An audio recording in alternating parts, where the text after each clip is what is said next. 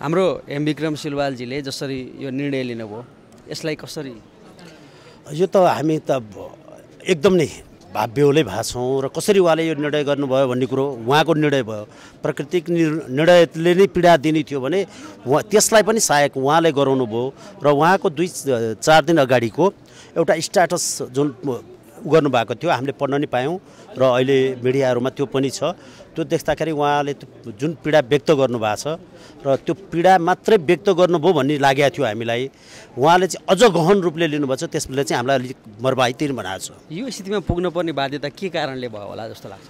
अब यो अवस्थामा चाहिँ तपाईँको विविध कारणहरू हुन्छन् पारिवारिक कारणहरू आर्थिक कारणहरू होलान् अनि राजनैतिक रूपमा पनि उहाँ चाहिँ अब एउटा दिलोज्यान दिएर लागिराख्नु भएको र हरेक दिन हुँदा नहुँदा सक्दा नसक्दा जसरी पनि उहाँ चाहिँ त्यो प्रोग्रामहरूमा अगाडि निस्किराख्नुहुन्थ्यो अगाडि के गर्नुपर्छ र केही बोल्ने कुराहरू चाहिँ उहाँले बोल्नुपर्छ यो अरूलाई पनि उजागर गर्नुपर्छ भनेर त धेरै अगाडिदेखि नै लागि पर्नुहुन्थ्यो र हामी धेरै पहिलेदेखि नै सँगसँगै हिँडियो सँगै मिडियामा बोलियो बोल्दाखेरि पनि सँगै हुन्थ्यो भनेदेखि उहाँले ती कार्यक्रमहरू पनि माइतीघर मण्डलमा विभिन्न समयमा कार्यक्रमहरू हुन्थ्यो तर कहिल्यै छोड्नुहुन्न थियो त्यो गर्दाखेरि जस्तो पीडा भए पनि पीडा लुकाएर भने पनि राज्यको निम्ति केही गर्नुपर्छ राज्यको निम्ति बोल्नुपर्छ र राज्य सत्तामा भएकाहरूले गरेको विकृतिको त्यसलाई चाहिँ भण्डाफोर गर्नुपर्छ त्यसलाई चाहिँ हामीले आवाज उठाउनुपर्छ त्यसलाई रोक्नुपर्छ भन्ने कुरामा चाहिँ उहाँ दृढचित्त भएर लाग्नुहुन्थ्यो। र यो पोस्टमा जुन उहाँले लेख्नुभयो नि यो कुरा कतिको गम्भीर कुरा हो?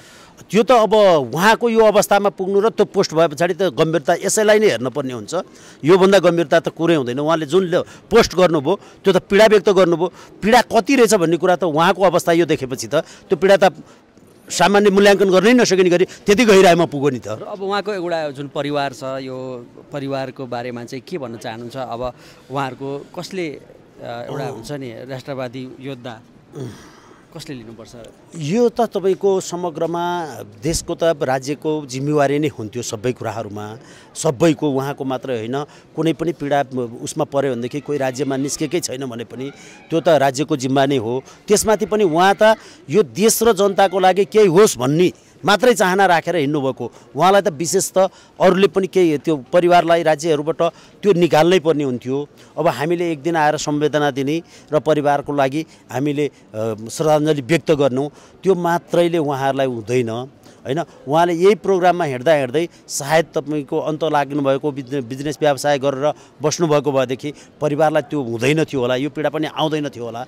तर उहाँले चाहिँ राज्यको निम्ति भन्दै गर्दाखेरि यो अवस्था यस्तो निर्णय लिन पुग्नुभयो भनेपछि यो चाहिँ उहाँ राज्यले नै जिम्मा लिनुपर्छ। पुण्यजी तपाईँ पनि आउनु भएको छ। हजुर के भन्न चाहनुहुन्छ? अ, हेमविक्रम सेवालजी जो महाप्रस्थान गर्नुभएको छ उहाँप्रति हार्दिक श्रद्धाञ्जली र परिवारजनमा गहिरो शोक संवेदना म प्रकट गर्न चाहन्छु। आदरणीय दिग्गज राष्ट्रवादी व्यक्तित्व हाम्रो प्रेम कैदीज्यू हाम्रो उहाँ त्रिपाठी सर त्यसै गरी अरू व्यक्तित्वहरू सागर थापाजी तपाईँ स्वयं आउनुभएको छ। अ, उहाँले जिन्दगीमा धेरै साथीभाइहरू इष्टमित्रहरू कमाउनु भएको रहेछ र उहाँ प्रखर राष्ट्रवादी चेतना भएको एक लडाकु र जुझारु स्वभावको व्यक्तित्व हुनुहुन्थ्यो। मनमा पाप र कपट थिएन क्लेशरहित व्यक्तित्व दुईवटा रूप थिएन। उहाँको मैले पछिल्लो अवस्था थाहा पाउँदा आजभन्दा एक हप्ता अगाडि एक हप्ता पनि भएको छैन होला। ए सुसाइड गर्नुभन्दा एक दिन अगाडि नै हुनुपर्छ। जतिखेर यो सरकार बन्दै थियो त्यतिखेर उहाँसँग मेरो टेलिफोन भयो। अ, चिया खाना आउन भने मैले होइन म अलिकति त्यस्तै तनावमा छु तर मलाई खुसी लागेको छ केपी शर्मा ओलीज्यूले पहल लिनुभयो उहाँ राष्ट्रवादी व्यक्तित्व हो भन्नुभयो। त मैले बुझेको कुरा के भने उहाँलाई पोलिटिकल फ्रस्ट्रेसन भयो। यो अरू कारण केही पनि होइन। उहाँको व्यक्तिगत रूपमा आर्थिक तङ्गी भएको अथवा इकोनोमिकली फाइनेन्सियली आर्थिक रूपमा टाट पल्टिएको भनेर कतिपयले हल्ला गरिरहेका छन् होला। उहाँको थुप्रै पैसा उहाँले दाबी गरे अनुसार चार साढे चार करोड रुपियाँ खर्च भयो होला। आर्थिक रूपमा समस्या पर्यो होला अरू चिजहरू छ। तर त्यसको मूल कारण भनेको राजनीतिक हो जस्तो लाग्छ। र आत्महत्या आफैमा त्यति राम्रो चिज होइन तर संसारमा यासुनरी काबाबाता नोबल पुरस्कार विजेता उहाँदेखि ओल्ड म्यान एन्ड सी लेख्ने अर्नेस्टो हेमिङवेले पनि आत्महत्या गर्नुभएको छ। आत्महत्या उहाँको एउटा विद्रोह हो। र यो यस्तो ठाउँमा हामी उभिएर कुरा गरिरहेको छौँ जहाँ कुरा गर्ने भन्दा पनि एकदमै यो भावमय एकदमै आँसुले लतपत्तिएको ठाउँ हो यो। भगवान् श्री पशुपतिनाथको पावन पवित्र यो भूमिमा बागमतीको तटमा बसेर हामी कुरा गरिरहेछौँ मलाई चाहिँ के लाग्छ भने उहाँको ज जसलाई आशा र भरोसा गर्नु हो उहाँको आस्थाको धरोहर र धर्रा गर्राम गुरुम ढल्यो जस्तो दुई तिनवटा पात्रप्रति उहाँको भरोसा देख्छु। जस्तै? होइन उहाँ अब वैचारिक हिसाबले उहाँ र मेरो ठुलो घमसान डिबेट पनि भयो। उहाँसँग मेरो एकदमै वैचारिक रूपमा एक प्रकारको ब्याटल पनि भयो। तर व्यक्तिगत मान सम्मानमा कुनै कमी थिएन। व्यक्तिगत राजनीतिक संस्कारका आधारमा उहाँ फरक विचारमा भए पनि एउटा राष्ट्रवादी व्यक्तित्वको रूपमा उहाँले पनि मलाई यो देशभक्त मानिस हो भनेर आइडेन्टिफाइड गर्नुहुन्थ्यो माया गर्नुहुन्थ्यो। फेरि उमेर पनि उस्तै रहेछ। मैले उहाँसँग सोद्धा महिनाले चाहिँ म अलिकति दाई हुँ कि जस्तो लाग्यो। हामी एउटै सालमा जन्मिएका रहेछौँ। साल त अलिकति म एक वर्ष अगाडि रहेछु उहाँसँग कुरा गर्दा। तर पनि उहाँ उमेरभन्दा बढी बुढ्यौलीले छोए जस्तो उहाँ देखिनुहुन्थ्यो किनभने त्यो उहाँलाई तनाव नै होला। उहाँलाई निन्द्रा नलाग्ने आदि इत्यादि समस्या पनि रहेछ। र त्यसको मूल कारण भने पोलिटिकल हो। उहाँ आवश्यकभन्दा ज्यादा राजतन्त्र चाँडै आउँछ भनेर हौसिरहनु भएको थियो। माफ गर्नु होला यो शब्दप्रति। मैले उहाँलाई भनेका थिएँ तपाईँहरू राजाभन्दा चर्को राजावादी। तर यहाँ त तपाईँले भनेका राजावादी नै राजावादी छैनन्। तपाईँ के गर्नुहुन्छ? तपाईँलाई त बिचल्ली पार्छन् भन्दा उहाँ त्यतिखेर उत्साहमा हुनुहुन्थ्यो। उहाँले यो कुरा छिट्टै बुझ्नुभयो र खास गरी भन्ने हो भने राजेन्द्र लिङ्गदेनले जब हिन्दू धर्मको डाउँमा जसरी कमल थापाभन्दा पनि उग्र भएर व्यापार गरे त्यसपछि उहाँको आस्थाको धर्रा नै ढलेको जस्तो महसुस भयो।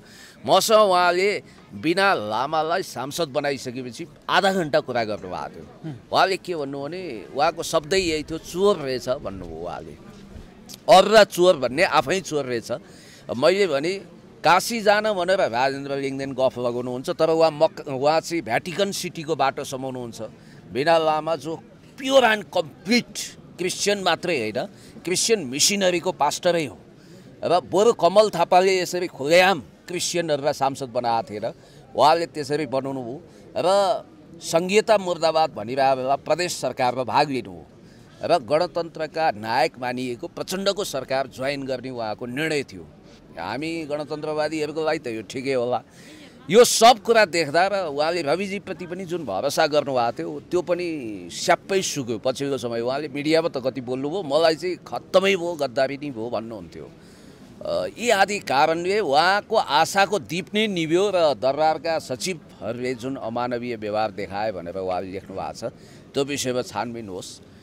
यी आदि कारणले गर्दाखेरि उहाँको जीवनको जुन गन्तव्य छ त्यसमा अँध्यारै अँध्यारो छायो र उहाँ आँसुमा डुब्नुभयो उहाँ भित्रै पीडाबाट जल्नु भएको थियो र उहाँले आफ्नो नश्वर शरीर समाप्त पार्ने एउटा कठोर डिसिजनमा पुग्नुभयो त्यसकारण उहाँले विष खानुभएको छ। मलाई त म त यो समाचार बिहान सागर थापाजीको स्ट्याटस पढेर जब यसो हेर्छु त फोटो उहाँकै छ। कोही अरू व्यक्ति हो कि एम विक्रम सिलवाल यसो हेरेँ उहाँ नै हो। अनि उहाँको त्यस्तो रोग त थिएन जस्तो लाग्छ। के भएछ? दैवको लीला के भयो भनेको त एकछिनपछि बुझ्दा आत्महत्या। सम्भवतः यो ठुलो एउटा विद्युतीय झड्का। हामीले आफूलाई सम्हाल्नै सकेका छैनौँ। हाम्रो पनि आँखाबाट दुई थोपा आँसु खसिसकेको छ श्रद्धास्वरूप र उहाँलाई श्रद्धाञ्जलीका दुई थुङ्गा फुल चढाउँ। र उहाँ सतत प्रयत्न गर्नुहुन्थ्यो। राष्ट्र र जनताप्रति उहाँ चिन्तित हुनुहुन्थ्यो।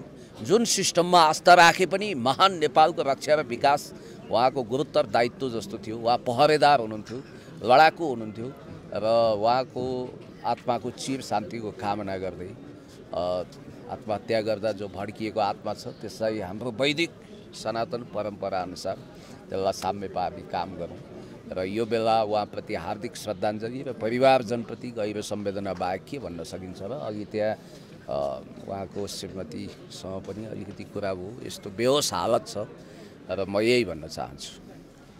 अब तपाईँमा आउन चाहन्छु।